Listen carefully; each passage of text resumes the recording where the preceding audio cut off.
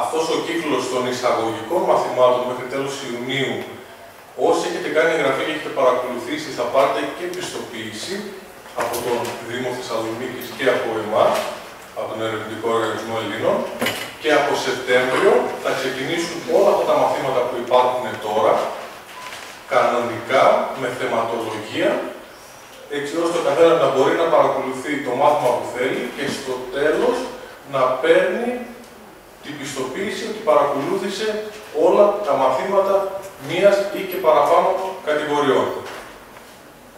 Σήμερα το πρώτο μάθημα, και αυτό έγινε επίτηδες, γιατί κάθε αρχή και δύσκολη, αλλά κάθε αρχή και ευλογημένη, ε, διαλέξαμε να βάλουμε το μάθημα της διεύρυνσης της θρησκείας. Την εισαγωγή του μαθήματος και την παρουσίαση του εισηγητή θα την κάνει ο Αντιπρόεδρος του Ερευνητικού Οργανισμού Ελλήνων, ο κ. Δημοσθένης Μαμπής. Καλησπέρα και από μένα. Ε, είμαι ο Δήμος Μαμπής, όπως είπε ο πρόδρομος. Ε, σας ευχαριστώ για την παρουσία σας εδώ πέρα απόψε στα, στο πρώτο από τα εισαγωγικά μαθήματα του Ανατολικού Πανεπιστημίου που διοργανώνουμε.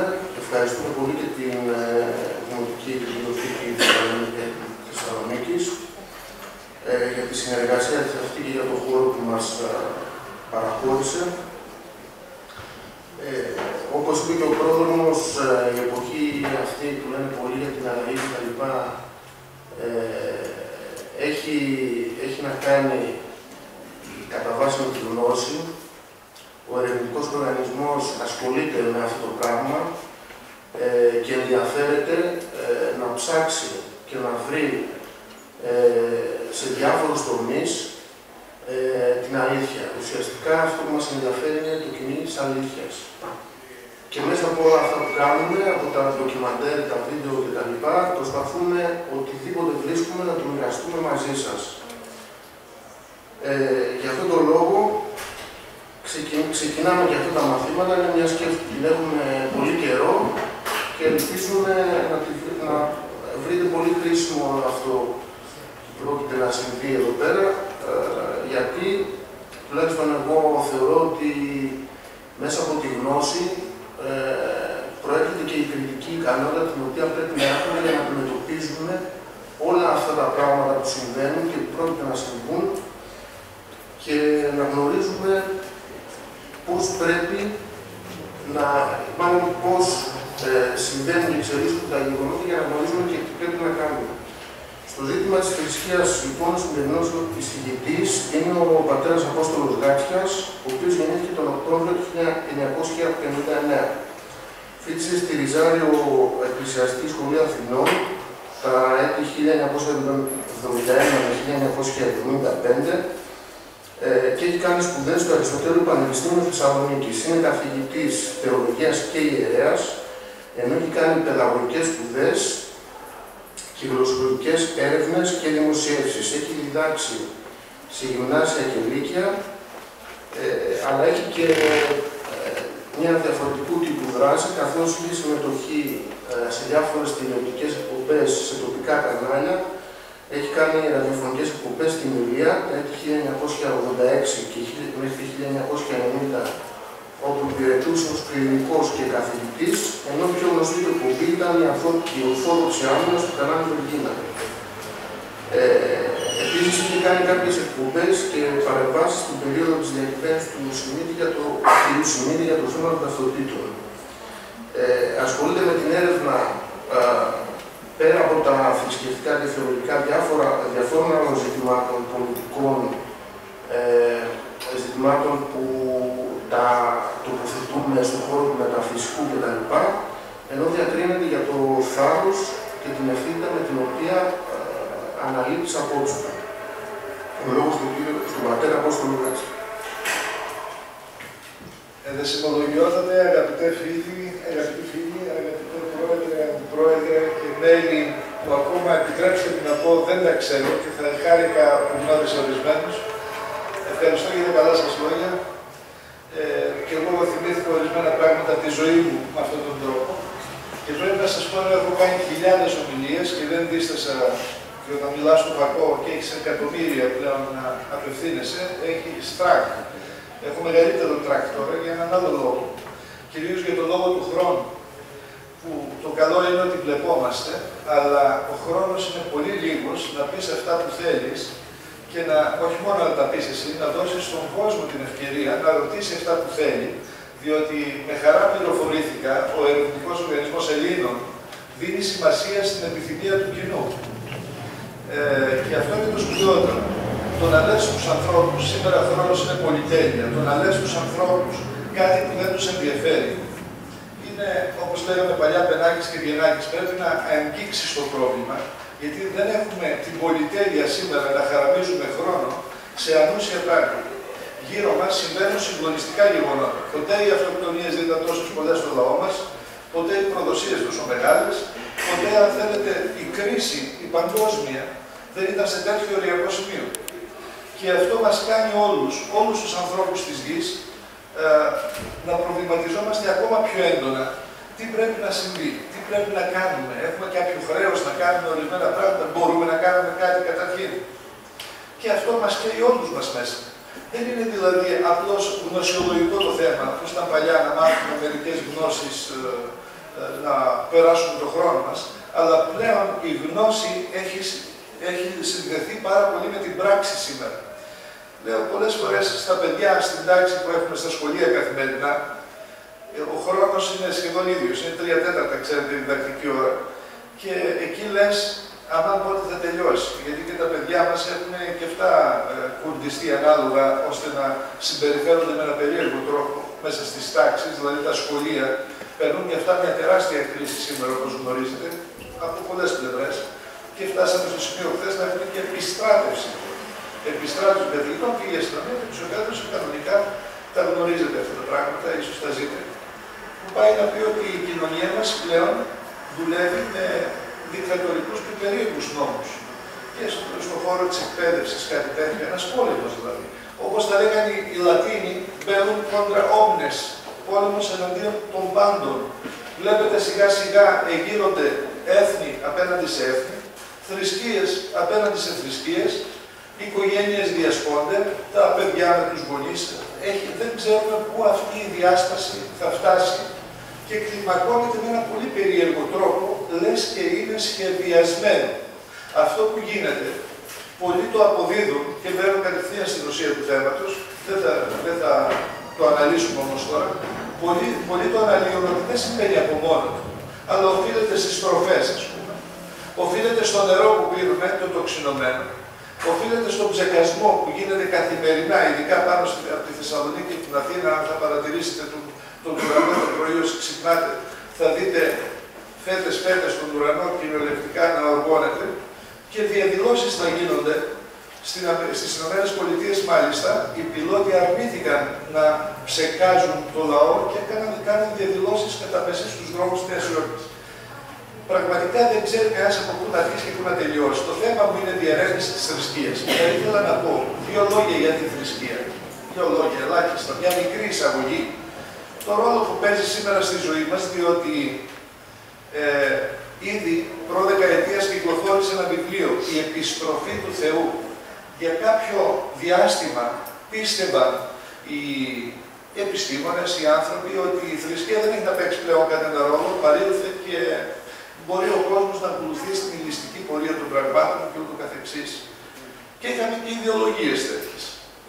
Από το 89 και πέρα, σημα, σημαδοτούμενο με την κατάρρευση του υπαρκτού Ανατολικού Μπλοκ, είδαμε ένα περίεργο γεγονός, τη θρησκεία να επιστρέφει και μάλιστα άγρια.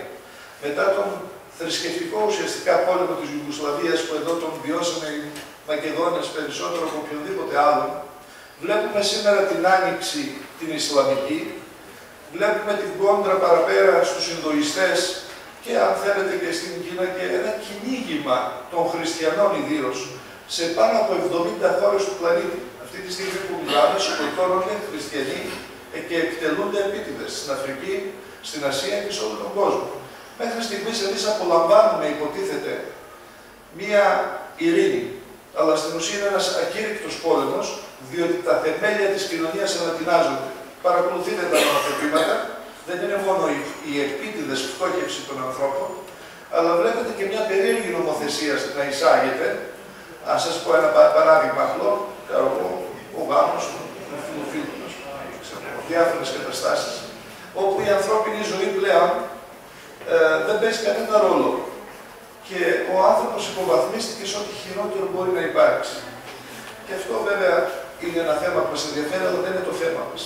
Ήθελα να κάνω μια μικρή εισαγωγή στη, στη θρησκεία και αμέσως να, να πω τα δύο ουσιαστικά θέματα που ε, με ενδιαφέρουν και νομίζω αν υπάρχει εκ μέρους σας ενδιαφέρον, από το Σεπτέμβριο και πέρα να τα αναλύσουμε.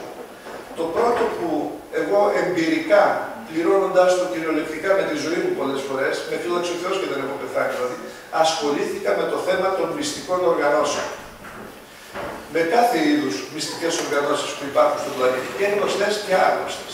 Δεν είναι μόνο η Μασονία, δηλαδή δεν είναι Ιλουμινάτη, αυτά που ξέρετε, πολύ, πολύ φοβερότερες οργανώσεις από αυτές. Ό,τι ξέρουμε δεν είναι τόσο φοβερό. Ασχολήθηκα λοιπόν με τις μυστικές οργανώσεις, τον τρόπο που δουλεύουν, τι σκοπό έχουν και μας ενδιαφέρει άμεσα αυτό το πρόβλημα στον χώρο της θεολογίας τουλάχιστον και της ζωής, μια θεολογία που μοιάζει και με τη ζωή. Ε, είναι το εξής θέμα.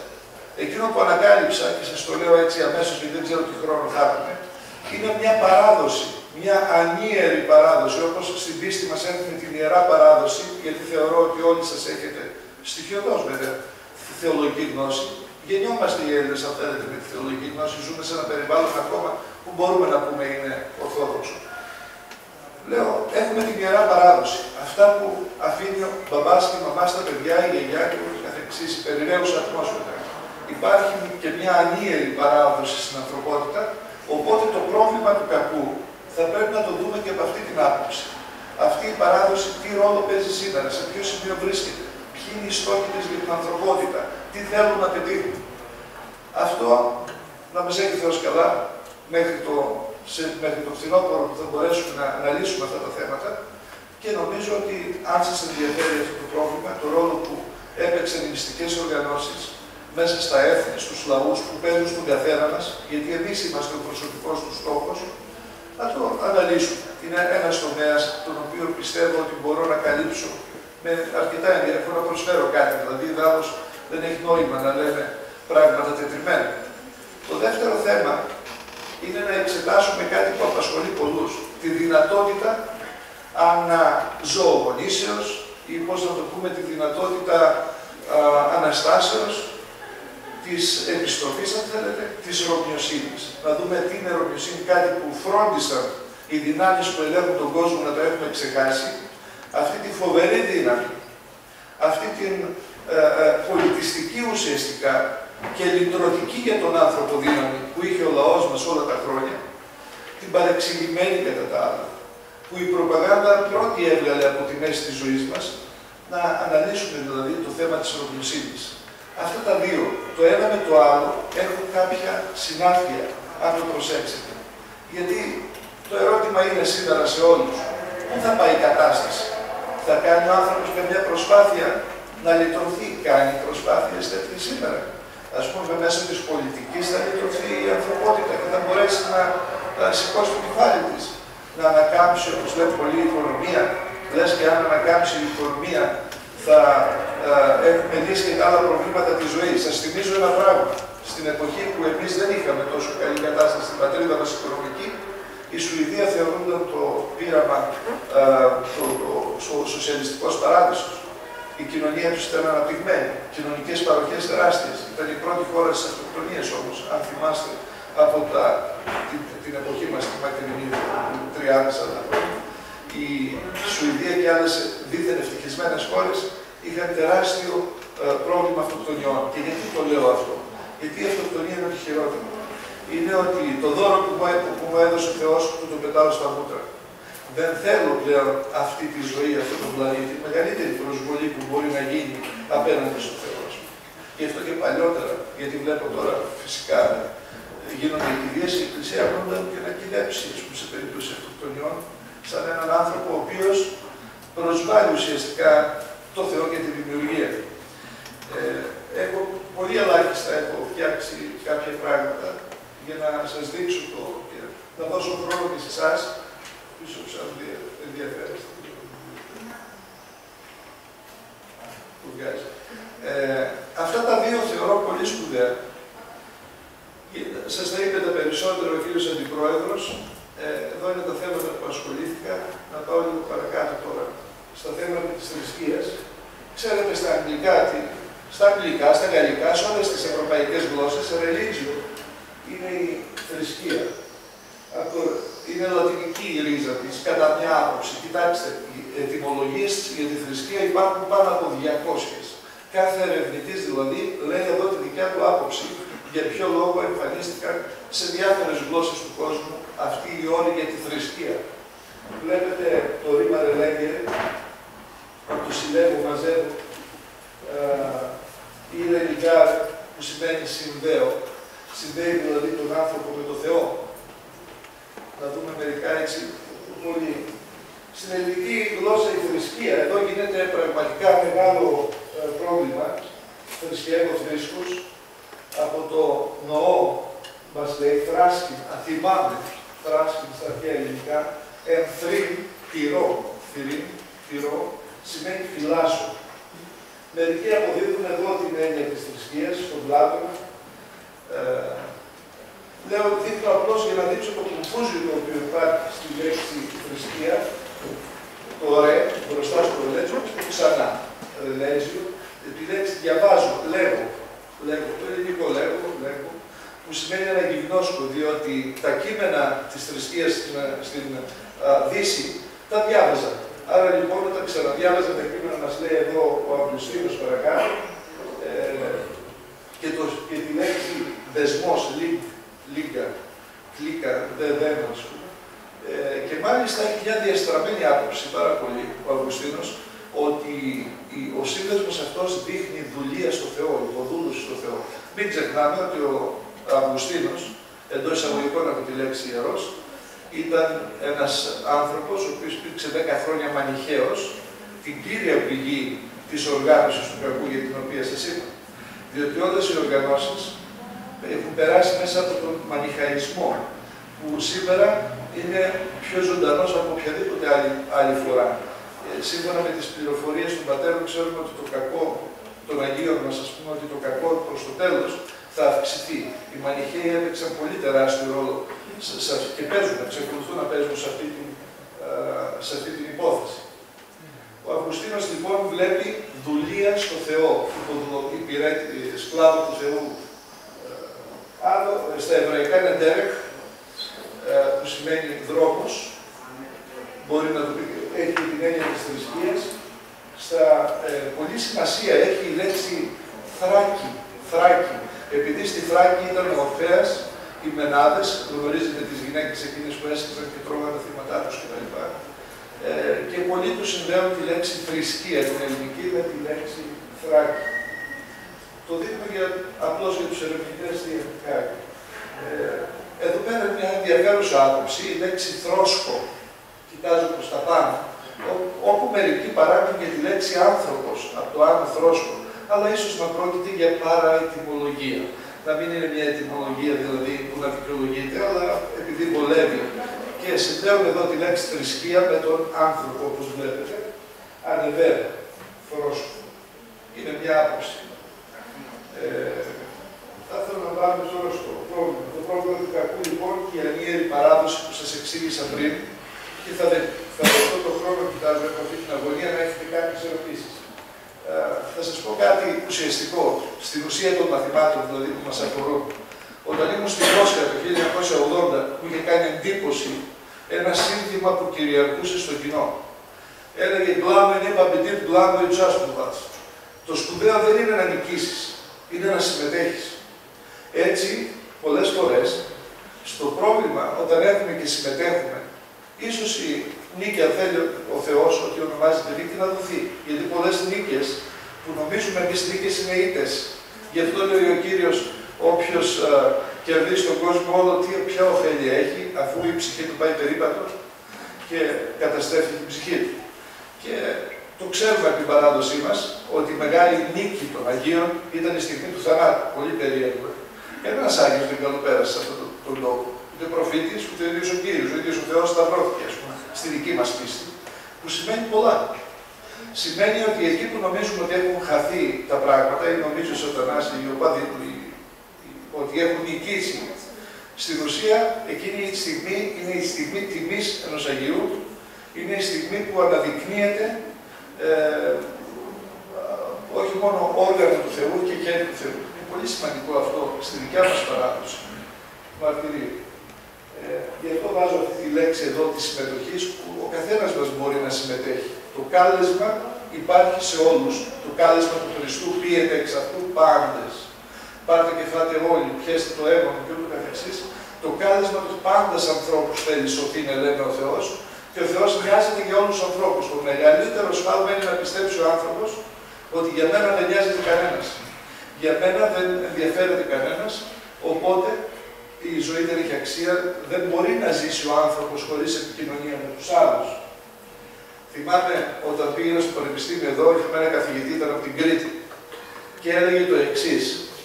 Σιολογία είναι ζύο. Με το φατιτσί, που φατιτσί. Ήταν από την Κρήτη. Ήθελε να πει ότι η θεολογία είναι δύο πράγματα. Η καταφατική και η αποφατική. Η θεολογία η καταφατική μας λέει τι είναι ο Θεός. Παντοδύναμος, πάτσο, καλός. Και η αποφατική μας λέει τι δεν είναι. Δεν είναι δηλαδή ε, δεν είναι ευθάρτος, δεν είναι ε, άνθρωπος, δεν είναι εκείνο, δεν είναι το άλλο. Ε, οι Άγιοι προχώρησαν και τις δύο θεολογίες. Όμως αν αναζητείτε ποια έχει μεγαλύτερη αξία για εμάς από τις δύο θεολογίες, έχει η αφαιρετική, η αρνητική ή νηπτική θεολογία, όπως λέγεται, η θεολογία των πατέρων. Η Ορθόδοξη θεολογία δεν είναι απλώς ε, μια θεολογία σαν τις άλλες. Τι συνέβη όμως; Όταν οι Μασόνοι πέτυχαν την νίκη το 1821 και κατσίκωσαν αυτό το κράτος, ουσιαστικά τότε σκλαβώθηκε η Ρωμιοσύνη, τότε σκλαβώθηκε ο Ελληνισμός, αυτό που γιορτάζουμε δηλαδή σαν νίκη. Το 1821 είναι ο θάνατός μας. Κυριολεκτικά τότε οι Μασόνοι πέτυχαν τη μεγαλύτερη νίκη εναντίον της Ρωμιοσύνης και εναντίον της πίστεώς μας. Τότε εξαφάνισαν το 1832 χιλιάδες ε, χίλια μοναστήρια τουλάχιστον τα, τα διέλυσαν. Διέλυσαν, πατούσαν τις εικόνες κάτω και τις κατέ. Μάουερ, Έιντε, Άρμανσμπεργκ. Η πρώτη τρόικα ήταν αυτή που κυριάρχησε στη χώρα. Στο πόδι του Όθωνα, του Βαβαρού ε, βασιλιά, ο οποίος ε, ταυτοποιήθηκε εδώ από τη Μασονία ουσιαστικά, αλλά ήταν αθώο παιδάκι, που δεν ήξερε τι του γίνεται. Και είχαν βάλει τον Μάουερ, θα πει Μασόνος ε, η λέξη στα γερμανικά, το όνομά του το ίδιο. Ο Άρμανσμπεργκ και ο Έιντερ. Αυτοί οι τρεις σχημάτισαν και ακολουθούν μέχρι σήμερα τα τρία προδοτικά κόμματα στην πατρίδα μας, το τότε ρωσικό, αγγλικό και γαλλικό κόμμα. Δεν υπήρχε ελληνικό κόμμα στην Ελλάδα που δημιούργησαν ουσιαστικά οι Μασόνοι. Ο στόχος ήταν να καταστρέψουν την αυτοκρατορία, μέσα στην οποία οι Έλληνες παίζαν τεράστιο ρόλο, την Οθωμανική Αυτοκρατορία. Γιατί μετά την Ελλάδα ακολούθησε η διάσπαση εντελώς και ένας εμφύλιος ουσιαστικά πόλεμος και μεταξύ Ορθοδόξων έγινε το βουλγαρικό σχήμα όπως γνωρίζετε, έγιναν, άρχισαν οι Σέρβοι να παλώνουν με τους άλλους, οι, ε, οι, οι, οι Αράπάδε τα είχαν εξηγήνονται από πράκτορες των Εγγλέζων όπως ο Λόρεντς της Αραβίας, τους οποίους έστειλαν εκεί και εδώ έστειλαν πράκτορες. Έστειλαν τους Φιδέλιδες Μάλιστα κυκλοφορείς στους Μασόνους ένα βιβλίο που σας ε, καλώ να το δείτε, να το προτείνει, πολύ πολύτιμο. Ε, οι Πέκτονες και το 1821 του Ριζόπουλου. Είναι πολύ μυστικό βιβλίο, δεν βγαίνει έξω από το ΕΣ, αλλά αν το δείτε, κρατήστε το. Ε, σε αυτό το βιβλίο, παρότι είναι ένα μέρος της αλήθειας, δείχνει ποιοι κινούν τα ρήματα και ποιοι παίζουν με τους λαούς και ουσιαστικά προκαλούν τις γενοκτονίες. Συμπτωματικά έχω ένα βιβλίο ε, του σε αυτή τη στιγμή, μια φωτοτυπία, δεν ξέρω αν φανεί, The Jewish Genocide of Armenian Christians. Γνωρίζετε ότι και οι Αρμένοι, σαν και εμάς, σφάχτηκαν εκατομμύρια άνθρωποι και μάλιστα έχει αναγνωριστεί η γενοκτονία τους πρόσφατα και από τη Γαλλία και από αλλού. Και ο Μπίρκιν Μπίρκιν άρχισε να από τη Γαλλία και την Αμερική. Παρακαλώ. Μόνο από τη Γαλλία και την Αμερική. Ναι, ε, τελευταία γίνεται και στην Αυστραλία. Πριν τέσσερα χρόνια από την Αμερική και από τη Γαλλία από την Σας ευχαριστώ. Από τη Γαλλία πρόσφατα. Ναι. Ε, αλλά σιγά σιγά προωθείται νόμος για τις γενοκτονίες και αυτό ανέφερα αυτές τις χώρες. Ε, γνωρίζετε και τις, αν στις άλλες χώρες δεν αναγνωρίστηκε, παραδείγματος Δεν έχει αναγνωριστεί πουθενά. Μισή καταγωγή μου από εκεί και το γνωρίζω καλά. Στον Καναδά, ας πούμε, δεν αναγνωρίζεται. Ούτε την Ελλάδα. Ενώ στην Ελλάδα πώς θα αναγνωριστεί; Δεν αναγνωρίζεται όχι. Είναι Πάντως- μεγαλύτερη γενοκτονία, ε. Ναι, 1,5 είναι εκατομμύριο κόσμος. Κάνουν ένα- σε όλη την Ιφίλιο. Σας ευχαριστώ. Κάνουν ένα φοβερό αγώνα οι άνθρωποι αυτοί. Ήταν χριστιανοί και μάλιστα θα σας πω κάτι ωραίο για τους Αρμένιους. Ήταν πιο μπροστά από εμάς οι χριστιανοί. Ενώ επίσημα το διάταγμα με διολάνων είναι το 313. Το 303 η Αρμενία ήταν χριστιανικό κράτος. Το λέω αυτό έτσι προς τιμή τους, ας πούμε. Και οι άνθρωποι δίνουν αγώνα παντού και προσπαθούν βέβαια να... Έτσι έτυχε να το έχω εδώ μπροστά. Ε, θέλω να πω λοιπόν ε, κάτι σημαντικό που αφορά εμάς. Αντί να είμαστε ενωμένοι οι Έλληνες, συνήθως βγάζουμε τα μάτια μεταξύ μας σε εμφύλιους παραγμούς. Και έβαλα επίτηδες μια αραβική εδώ πέρα παροιμία που μας ξέρουν καλά. Λένε οι Άραβες, όσοι, αν με συγχωρείτε αν το προφέρω σωστά γιατί έντα τα άκου Ιουνανή λάια τα άκου αμπεντέ. Σε ένα πράγμα συμφωνούν οι Έλληνες, να διαφωνούν πάντα μεταξύ τους. Μας ξέρουν καλύτερα από όλους οι Άραβες και όταν λένε αυτό το πράγμα, ότι εμείς συμφωνούμε μόνο να μαλώνουμε δηλαδή, είναι αλήθεια. Αν θα δείτε από τα αρχαία χρόνια, ο ένας τρώγονταν με τον άλλο. Σπάρτη Αθήνα, Θήβα παραπέρα, Μακεδονική ε, δυναστεία ε, και ακόμα και η Ρώμη, αν θέλετε. Ήταν ένας εμφύλιος πόλεμος για τη Ρώμη, ήταν και αυτή μια ελληνική πόλη, δεν ήταν κάτι διαφορετικό. Και ο Τροϊκός πόλεμος ακόμα ήταν ένας εμφύλιος ε, πόλεμος μεταξύ Ελλήνων. Και φτάνουμε στους σύγχρονους εμφύλιους πόλεμους και ξέρουν, και ξέρουν αυτοί που παίζουν με εμάς ότι είμαστε πάρα πολύ, α, πέφτουμε στην παγίδα αυτή δηλαδή, του εμφυλίου και εδώ πρέπει να προσέξουμε. Εδώ πρέπει ο καθένας μας να έχει ένα ρόλο να πάσει θυσία να αποφευχθεί αυτή, αυτό το πράγμα. Κάποτε πρέπει να βάλουμε μυαλό, εκτός αν δεν μαθαίνουμε με τίποτα. Αυτό το πράγμα που λένε οι Άραβες, το λένε και οι Τούρκοι. Και μάλιστα συνάντησα στην Τουρκία την παροιμία, όσοι ξέρετε, με συγχωρείτε τώρα που είναι μια κακιά λέξη. Η King Georg von Gemessen Νάσερ Μουσταφά Μπαγκλωαγέτζερ. Εάν δύο Έλληνες λένε δεν ταΐζει ο ένας τον άλλον βρωμιές, δηλαδή, πόσο Μουσταφά θα φάει μπακλαβά. Το λέω αυτό γιατί μας ενδιαφέρουν οι Τούρκοι που είναι απέναντί μας τώρα. Και σχεδιάζουν για την πατρίδα μας πράγματα.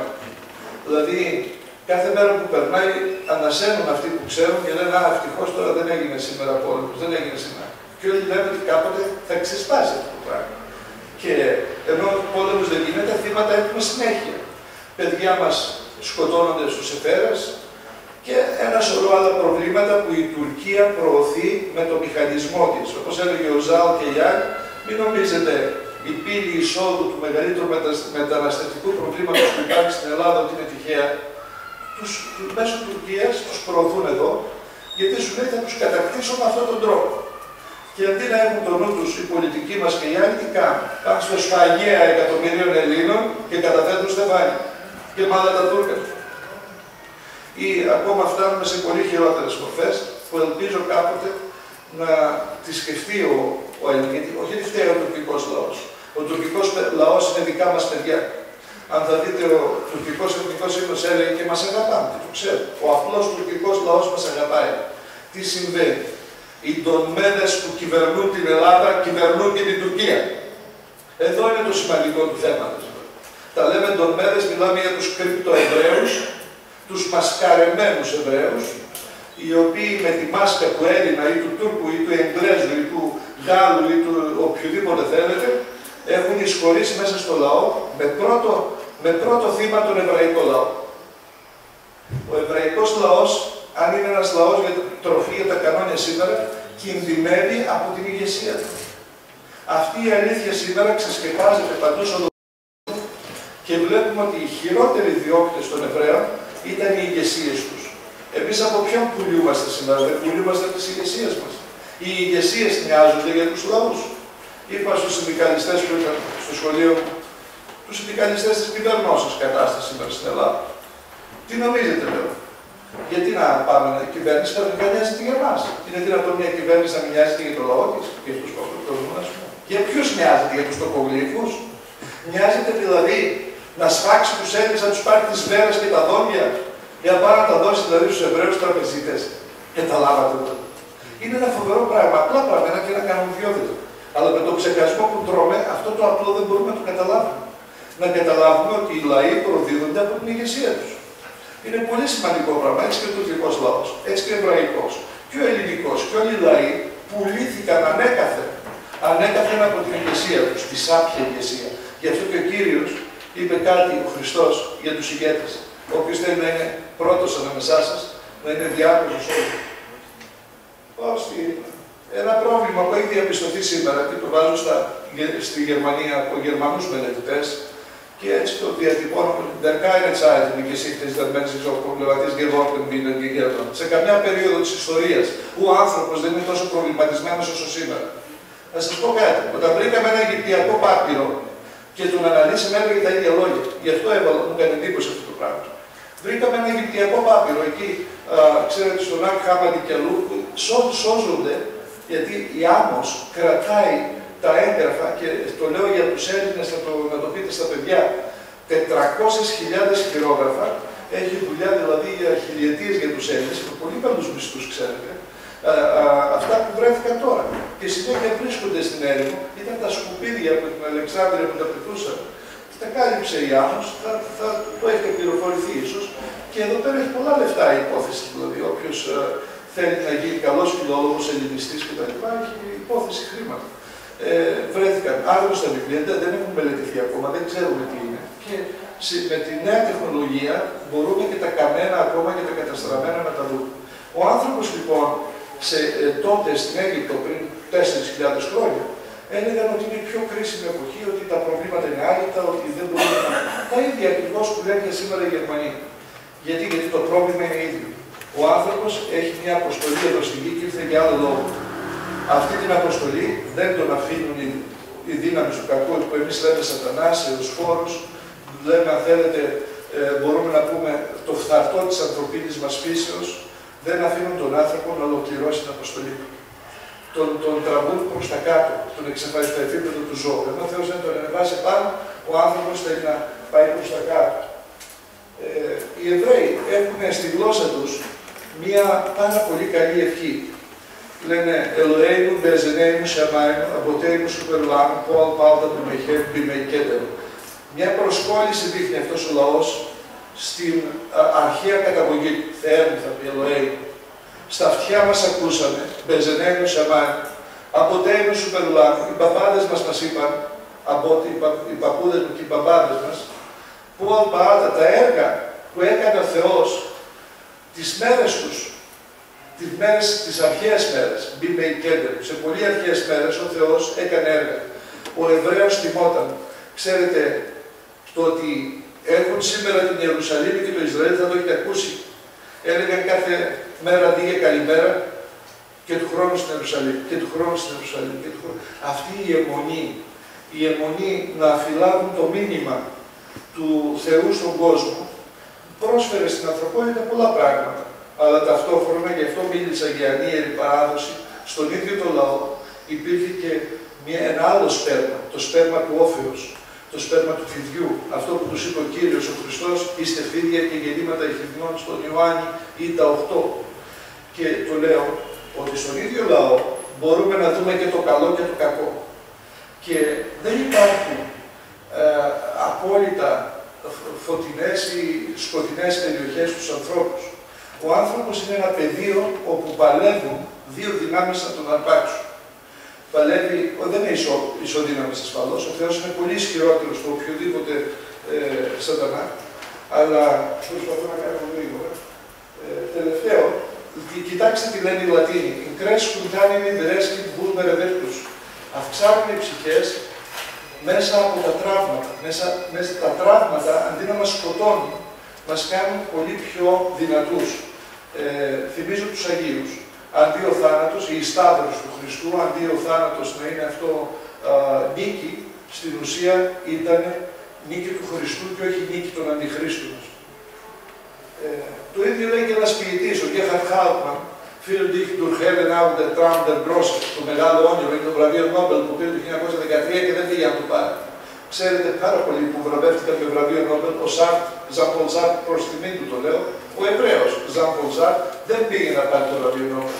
Ένας από αυτού ήταν και ο Γκέχαρτ Χάουτμαν. Φανταστείτε το βραβείο της Ειρήνης, ένα που έκανε τον Παρούτη δηλαδή, το βραβείο Νόμπελ. Λέει ότι και αυτός μέσα από οδήγησε σε σένα ακόμα και μέσα από την κόλαση το όνειρο του μεγάλου. Τράουντερ Γκρός. Ποιο είναι το μεγάλο όνειρο του ανθρώπου; Το μεγάλο, όχι όνειρο, αλλά πραγματικότητα είναι να είναι Θεός. Ο άνθρωπος έγινε για να γίνει Θεός κατά χάρη. Ο Θεός μοιάζεται για τον άνθρωπο, στέλνει προφήτες, Αγίους, έστειλε τον ίδιο τον γιο του εδώ κάτω και αυτό δεν έγινε τυχαία. Ε, λένε οι Γάλλοι μια πολύ ωραία παροιμία σε ένα grande triportante, με σε πλίζα πορτά, με συγχωρείτε για τα γαλλικά, τετραγκρεά.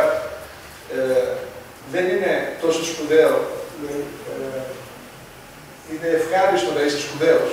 Αλλά το πιο σπουδαίο είναι να περνάς ευχάριστα. Ε, και πώς περνάει ο άνθρωπος ευχάριστα; Η ειδονή μπορεί να προσφέρει στον άνθρωπο ας πούμε, την ευτυχία, τα ναρκωτικά, ας πούμε, ο παράδεισος. Τι είναι εκείνο το αληθινή, η αληθινή ευτυχία για τον άνθρωπο; Είναι ένα θέμα που πρέπει να το αναπτύξουμε και αυτό. Ε, μου έκανε εντύπωση τελευταία φορά ήμουν στην, στην Ελβετία. Αυτό θα κλείσω να δώσω λίγο το λόγο σε εσάς. Χάθηκα, περπατάω με τα πόδια, ήταν 6-7 χιλιόμετρα, λέω γιατί να πάω με τα, θα πάω με τα πόδια. Μέσα στο δάσος χάθηκα. Βρίσκω έναν άνθρωπο, του λέω σε παρακαλώ προ τα πούνε το Λουγκά. Και μιλάνε τρεις γλώσσες, ξέρετε.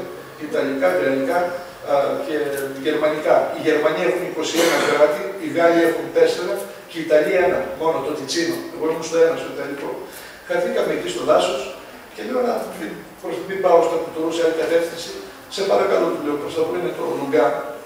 Μου λέει προς τα δοκέ του, τι είσαι εσύ; Λέω σε όλον Γκρέκο. Και πώς μου ήρθε, του λέω Γκρέκο Μασκαρά. Είμαι Έλληνας και είμαι, του λέει το Γκρέκο Μασκαρά. Ε, του του λέει, τι είσαι; Η Οσόρα λέει ο Ιταλιάνο Μασκαρά είναι Σβιτσέρα. Και εγώ είμαι ένας Ιταλός Μασκαράς στην Ελβετία. Θέλω να πω ότι σήμερα οι άνθρωποι, μήπως είμαστε μασκαράδες άνθρωποι και έχουμε γίνει κτίνοι, ή αν θέλετε, μήπως αν το ψάξουμε μέσα μας, είμαστε αυθεντικοί. Το ζήτημα της αυθεντικότητας, το ζήτημα της. Ε, πρέπει να το θέσουμε όλοι στη ζωή μας. Κατά πόσο είμαστε αυθεντικοί, κατά πόσο μπορούμε να αλλάξουμε. Κατά πόσο μπορούμε να αλλάξουμε τον κόσμο και να δούμε τότε ότι οι προποθέσεις της Ρωμιοσύνη, για τις οποίες δεν μίλησα καν, δεν μίλησα καν και εδώ θα σταματήσω, για να αφήσουμε το Σεπτέμβριο, τι να, τι να πεις μέσα σε μισή ώρα, ε, και με συγχωρείτε για την πολυλογία, αλλά αυτά τα είναι θέματα που πρέπει να αναλύσουμε. Τις προϋποθέσεις, αυτό μπορεί να παίξει κάποιο ρόλο η ρωμιοσύνη στον κόσμο. Ξέρετε τι λένε οι Ρώσοι; Οι Ρώσοι που αναστήθηκαν, ουσιαστικά ένας λαός πτώμα, τον αγαπάω αυτόν τον λαό, γνωρίζω τη γλώσσα. Εμείς περιμένουμε από εσάς και θα ήθελα να δείξω, ε, ειδικά στους Ρώσους, και εκεί γίνεται μια επανάσταση να σας πω, περισσότεροι Εβραίοι στη Ρωσία βαφτίζονται Ορθόδοξοι Χριστιανοί. Μετβέιεφ, ο πρόεδρος της Ρωσίας, είναι Εβραίος, ξέρετε. Όπως και πολλοί άλλοι, δεν έχει σημασία ποιοι. Είναι Εβραίοι, τους ξέφυγαν. Βαφτίστηκαν Ορθόδοξοι και δεν είναι μαϊμού Ορθόδοξοι. Είναι πραγματικοί Ορθόδοξοι, ένα σωρό κληρικοί Ρώσοι στην Ευρώπη και σε όλο τον κόσμο. Το λέω αυτό γιατί ακόμα και εκεί που δεν το περιμένεις γίνεται αναγέννηση.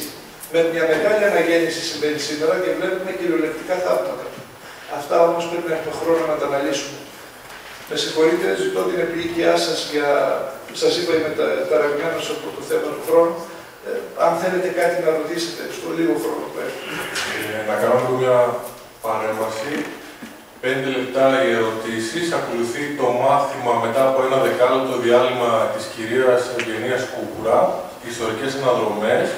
Το, στο οποίο μάθημα θα γίνει και αναφορά των εμπειριών της ίδιας μιας και είναι επίσημος κριναγό του ελληνικού κράτους, ε, των μεγάλων προσωπικότητων που είχες στι ξεναγήσει. Τα λέω καλά.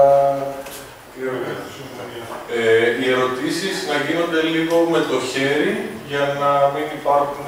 Παρακαλώ. Όποιος θέλει ερωτήσεις μπορεί να σηκώσει το χέρι.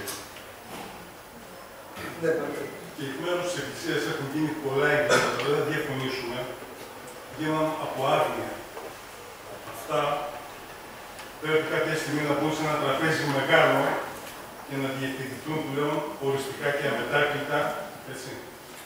Όπως είναι τα επτά αναθέματα εναντίον του ελληνισμού, εναντίον των φιλοσόφων και τα Σα ευχαριστώ λίγο. Αν μου συγχωρείτε, θα πω το εξής. Ο καθηγητής που δείχνω εδώ είναι ο καθηγητής μου, πατήρ Άκη Τομανίδη και το βιβλίο του Ρωμιοσύνη. Ήταν μέγιστη Το, φυσιολογία. το μάθημα το οποίο έκανε έλεγε το εξής. Απαντώ στον κύριο. Έλεγε, εγώ δεν είμαι πάπας, ο ίδιος κάνω λάθη. Πα- Ήταν ένας από τους καθηγητές που παραδεχόταν στα λάθη. Πριν του τα βρουν οι άλλοι που δεν το βολεύαν και του άνθρωπου τα λάθη, ας πούμε. Οπότε ο Ρωμανίδη ακόμα κάθε φορά μας κάνει μάθημα, πατήρ Ιωάννης, ας πούμε. Και έλεγε αυτό το λάθος έχω στη σελίδα τάδε, αυτό το λάθος έχω στη σελίδα τάδε. Έτσι είναι ο ερευνητής. Ερευνητής περνάς μέσα από τα λάθη. Αν δεν αναγνωρίζεις τα λάθη σου, πώς θα πας μπροστά.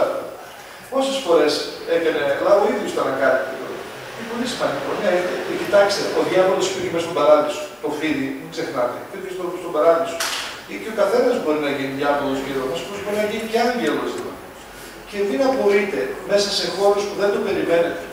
Να δείτε το χέρι του Θεού να δουλεύει μέσα σε ένα απίστευτο χώρο. Εγώ το έχω συναντήσει πολλές φορές. Έχω συναντήσει το έχω προσωπική μαρτυρία και υπάρχουν δεν μπαίνεις με το στόμα ανοιχτό. Εδώ δουλεύει, είναι δυνατόν να υπάρχει Θεός και να υπάρχει και εδώ ο Θεός. Να φανταστείτε όταν στη Σοβιετική Ένωση το 1979-80 ήμουν στο Πανεπιστήμιο Λομονόσοφ της Μόσχας. Ε, ναι, της, Μο- της Μόσχας, έγινε το εξής περίεργο. Ο καθηγητής που δίδασκε αντιθρησκεία, ο καθηγητής που δίδασκε αντιθρησκεία, προσευχόταν στον Θεό να τα πει καλά. Μην τον πιάσει πιστική αστή, καταλαβαίνετε τι λέω τώρα. Αυτός που μιλούσε εναντίον της θρησκείας, είχε κάνει σύγκριση εναντίον της θρησκείας. Και έτυχε να, να προσευχόταν προσευχόταν στον Θεό να τα πει καλά ο άνθρωπος.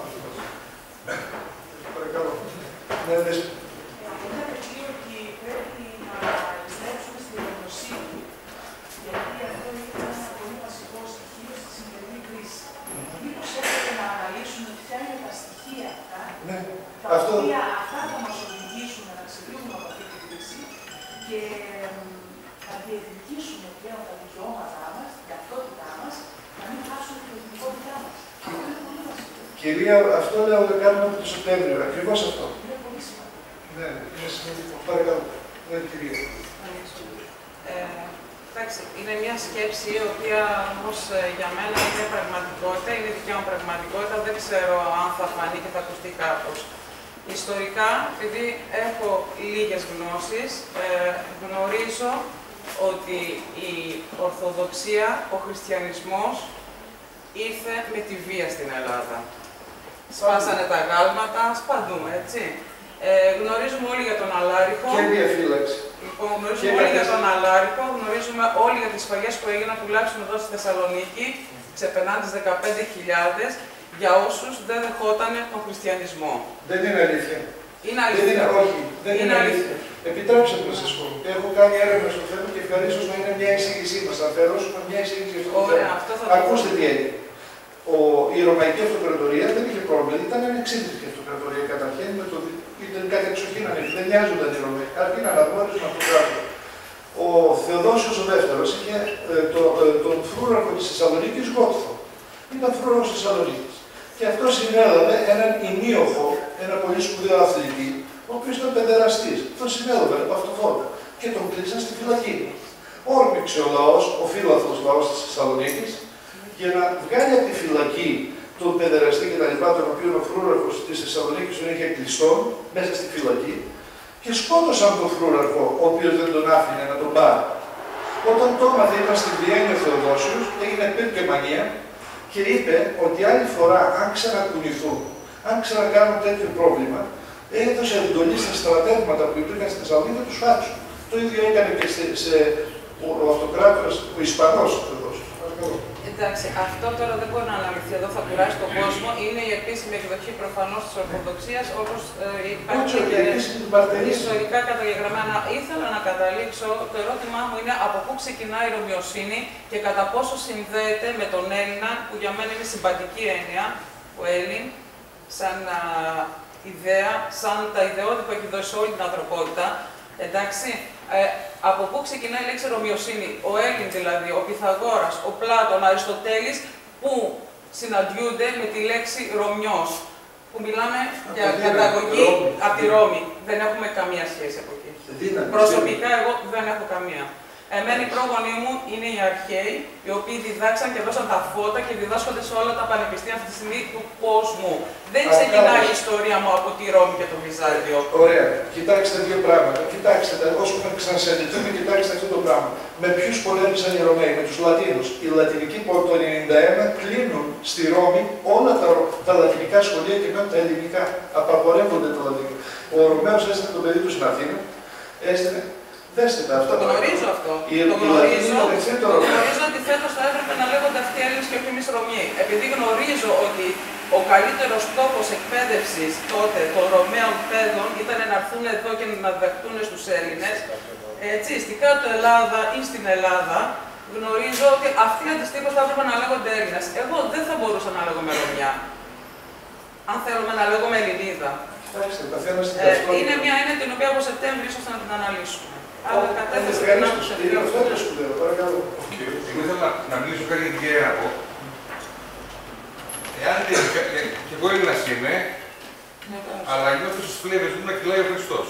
Και καλά κάνει κύριε, δεν το προσβάλλω Ε, εδώ του Χριστού. εάν ο διάβολος έκανε τόσο μεγάλο λάθος μέσω πολέμου και βίας να βάλει τον χριστιανισμό, όπως έκανε πολλά λάθη, τον ευχαριστώ γιατί μου έδωσε, Ωραία. μου έδωσε κάποιον, κάποιον ηγέτη μου, κάποιον αρχηγό μου, ο οποίος πριν σταυρωθεί, πριν εγώ το σταυρώσω, μου έκλεινε τα πόδια. Εδώ τώρα θα κάνω μια, ε, θα κάνω μια ακόμα ε, ας πούμε εμβάθυνση.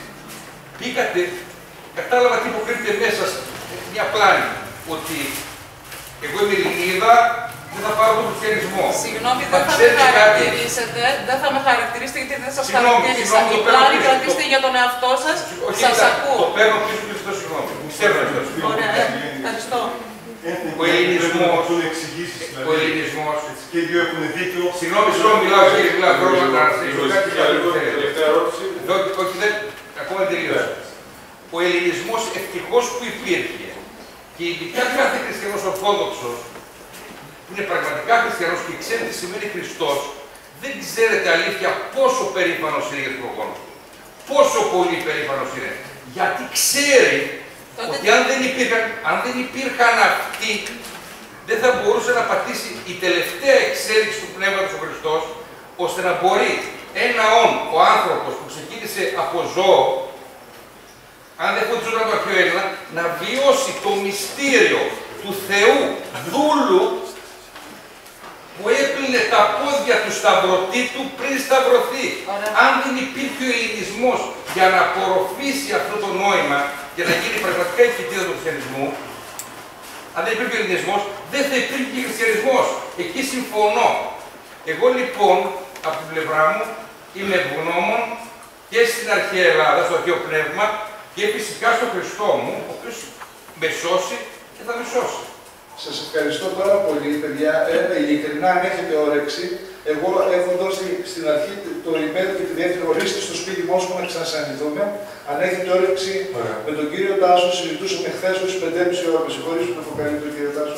Ωραία. Μιλούσαμε στο Skype ως 5.30 ώρα. Τα θέματα αυτά δεν Μια γίνονται. διευκρίνηση, δεν Ναι. ήθελα να προσβάλλω τη θρησκεία και τον Χριστό Όχι, και όχι, οποιονδήποτε πατέρα, άλλο. πατέρα, Η εστίασή μου πατέρα, ήταν πατέρα. περισσότερο φιλετική ως Ωραία. Ελληνίδα και Ωραία. όχι θρησκευτική ως Δεν μπορείς. χριστιανή. Ε, Μα δεν είναι. Ε, από εκεί και Το, πέρα. το ότι συμμετέχετε τόσο ενεργά αυτό είναι καλό γιατί ξεφεύγουμε λίγο από, Το- από το, το ότι κοιμόμαστε όλες αυτές τις δεκαετίες. Είναι πάρα πολύ καλό. Φυσικά η αλήθεια είναι κάπου στη μέση και, και των δύο σας, πιστεύω εγώ, Και Μπορεί πιστεύω η αυτή την αλήθεια αλήθεια. να ανάγκη κάπου στη μέση, μπορεί να είναι από τη μια πλευρά. Ε, γνώμη μου, Μην γνώμη μου, συμβαζόμαστε γνώμη με την μου, αλήθεια. γνώμη μου. Ε, γνώμη μου, ε, γνώμη μου, γνώμη μου. Φυσικά η αλήθεια είναι πάντα, πάντα διπλή και όχι μόνη. Ε, πιστεύω, πιστεύω, πιστεύω ε, αυτά να τα πούμε από Σεπτέμβριο τον κύριο Γάσια θα μπορείτε να το ρωτήσετε και αφού τελειώσει και θα περάσουμε τώρα στη διάλειμμα, ο εκπρόσωπος του Μητροπολίτη ε, Άνθιμου θα δώσει τις ευχές του, θα κάνουμε ένα διάλειμμα, μπορείτε στο τέταρτο διάλειμμα να ρωτήσετε τον κύριο Γάτσια έξω και μετά συνεχίζουμε με την κυρία Κοκούρα. Δεν θέλω να ρωτήσω κάτι, να σας θέσω κάτι. Ο άνθρωπος του πατέρα Απόστολος είναι τόσο πληθωρικός και τόσο συγκεκριμένος και περιεκτικός σε αυτά που έχει τα συγχαρητήρια μου πατέρα. Έτσι.